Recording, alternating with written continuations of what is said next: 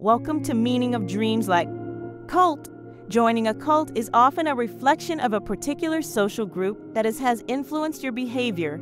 The cult becomes a metaphor for something in your life that you follow that might be unorthodox. The cult leader is someone who has the power over your thoughts, ideas, and movements, a symbol to examine what things that control you.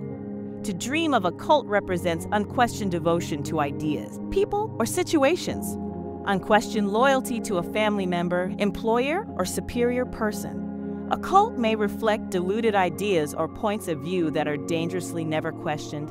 Giving up your individuality for the sake of someone or something that you feel can't be judged.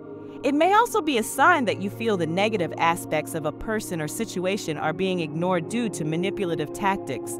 Feeling that alternative ideas or choices are not allowed. Feeling that someone or something is too possessive.